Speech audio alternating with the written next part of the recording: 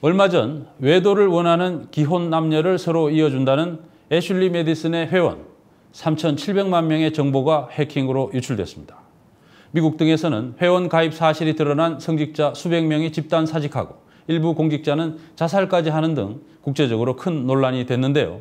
유출된 데이터를 뉴스타파가 분석해 봤더니 한국인 회원이 66만 명이나 됐고 경찰과 검찰, 현직 판검사, 교수 등 공무원도 많았습니다.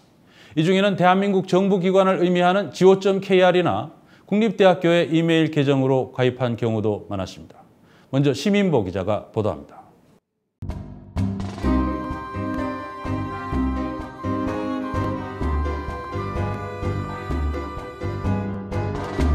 Tämä pari on naimisissa, mutta ei toistensa kanssa.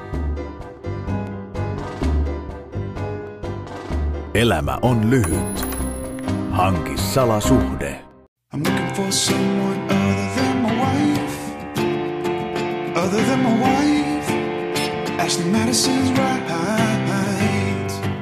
핀란드와 미국에서 방영된 애슐리 메디슨의 TV 광고입니다.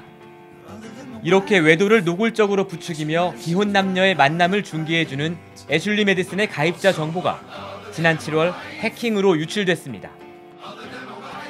유출된 가입자 정보는 무려 3,700만 명분. 후폭풍은 거셌습니다. 미국에서는 성직자 400여 명의 가입 사실이 드러나 전원 사직했고 텍사스주의 경찰국장 한 명은 스스로 목숨을 끊었습니다. AP통신은 백악관과 국방부를 포함해 미국 공무원으로 추정되는 이메일 계정이 수백 개에 달한다고 보도했습니다. 영국 텔레그래프는 국회의원 한 명을 포함해 공직자 수백 명과 대학 관계자 천여 명의 이메일 계정이 애슐리 메디슨에 가입했다고 보도했습니다. 애슐리 메디슨의 본사가 있는 캐나다에서는 최소 2명의 애슐리 메디슨 고객이 자살했다고 경찰이 발표했습니다. 한국은 예외일까? 애슐리 메디슨에 가입할 때 선택할 수 있는 국적은 모두 53개. 그 가운데 36번째가 한국입니다. 뉴스타파 분석 결과 자신의 국적을 한국으로 표시한 가입자는 66만 7,296명이었습니다. 가입자 숫자는 미국과 브라질, 캐나다 등에 이어 아홉 번째로 많았고 아시아에서는 대만에 이어 두 번째로 많았습니다. 전체 인구 대비 가입자 비율은 1.33%로 캐나다와 미국, 호주 등에 이어 17위였고 아시아권에서는 홍콩, 대만, 마카오에 이어 네 번째로 많았습니다. 애슐리 메디슨은 지난해 한 차례 사이트 폐쇄를 당한 뒤 간통죄가 위헌 결정을 받은 뒤인 올해 4월에야 다시 한국 서비스를 시작했습니다. 짧았던 영업 기간을 감안하면 결코 적다고 할 수 없는 회원수입니다. So even with this removal of the adultery laws in Korea, we saw hundreds of thousands of people trying to come back to Ashley Madison. 한국보다 인구가 두 배 이상 많은 일본의 경우 전체 가입자 수도 한국보다 훨씬 적었고 인구 대비 가입자 비율은 한국의 4분의 1 수준이었습니다. 한국 가입자 66만여 명은 어떤 사람들일까? 해킹된 데이터에는 이메일 아이디와 닉네임, 접속 위치 등이 나와 있습니다. 우선 이메일 아이디 가운데 공무원들의 이메일, 즉 geo.kr과 korea.kr 도메인을 가진 메일을 찾아봤습니다. 모두 236건이 나왔습니다.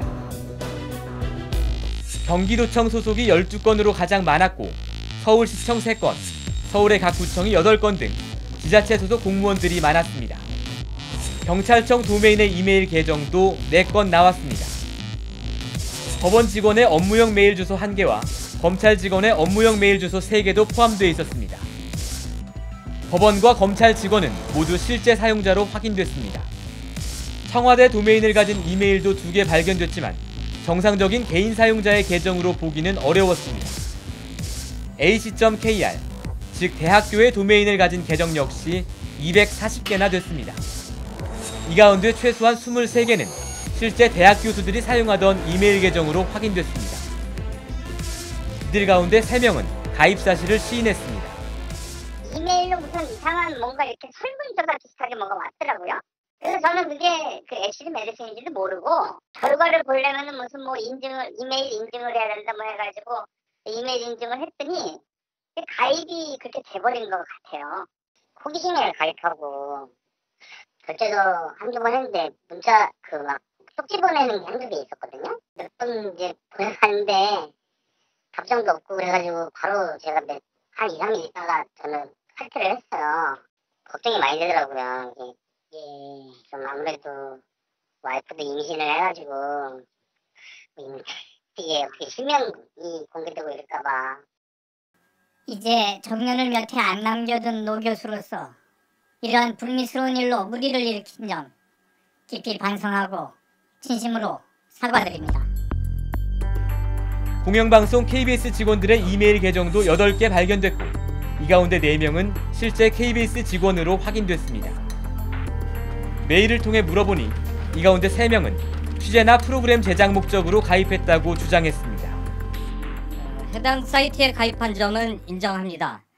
하지만 저는 기자적 호기심에서 해당 사이트가 어떻게 운영되는지 어떤 부작용 등을 일으킬 수 있는지 보다 정확히 알고자 회원 가입 등록이 불가피했습니다. 개신교 목사의 개인 이메일 계정도 발견됐습니다.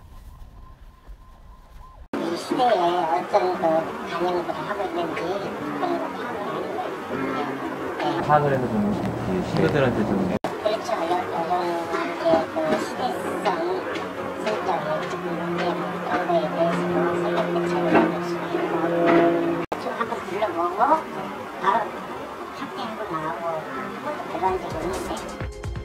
유출된 가입자 정보에는 대기업들의 회사 이메일 계정도 다수 포함되어 있었습니다.